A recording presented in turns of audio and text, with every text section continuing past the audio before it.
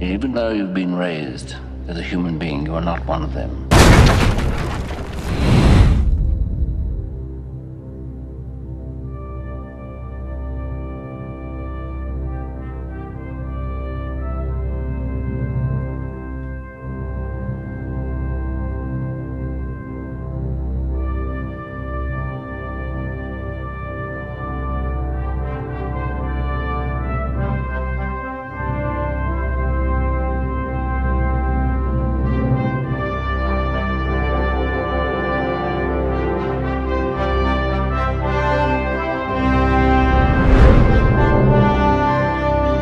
Can be a great people, Kal-El. They wish to be.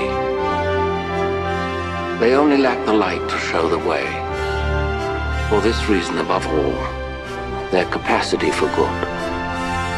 I have sent them you, my only son.